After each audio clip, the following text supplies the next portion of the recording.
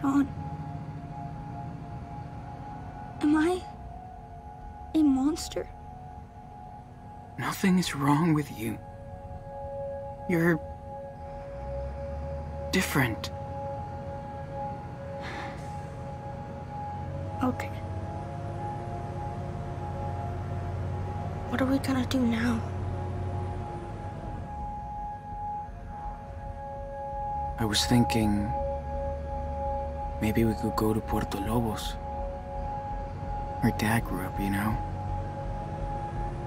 Yeah, I guess. It'll be fine, Daniel. There's nothing we can't do. As long as we're together.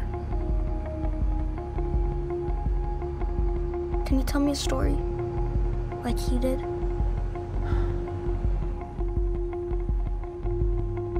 I'm not as good as him. he used to tell me bedtime stories too.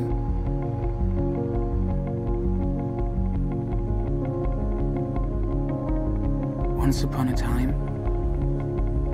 in a wild, wild world,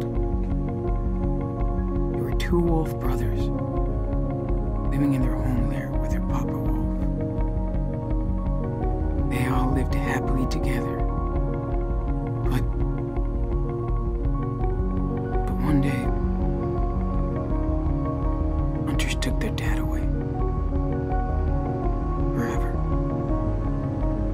So now the brothers were alone. And they had to find a new home.